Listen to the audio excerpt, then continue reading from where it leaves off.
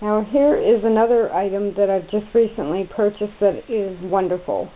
This is by Lap Gear and it's called the Schoolhouse Lap Desk. Now as I've been moving and uh, packing for moving and downsizing, um, I gave away my art tables. Um, I've reduced a lot of my larger workspaces. So I really needed one of these. And if you're like me, I love pens and fountain pens and writing and um, ink and everything. And this is like an old-fashioned um, stationery box.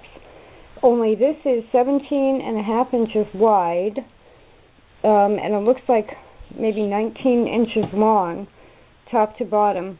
Wonderful. Believe it or not, it came from Walmart. And you can find them between 38 and like $48.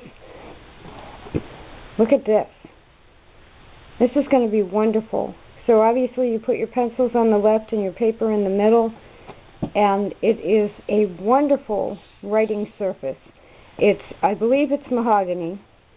So it's this wooden it's like I have I have two um, school desks that have this uh, surface on the top and then you pick that up and but they're actual school desks with legs and everything. This has a cushion at the bottom and you hold it on your lap. It's a wonderful idea.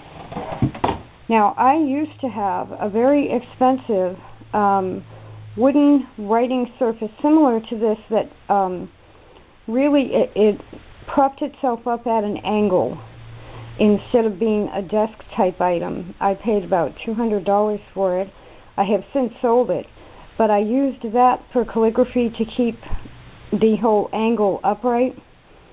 Um, especially uh, when you're doing professional calligraphy, you don't want um, your hands to get on the words.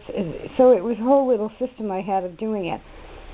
But this, you know, for roughly forty dollars, is um, it's not going to have the vertical angle, but it's a wonderful it, portable desk. You can take it anywhere with you.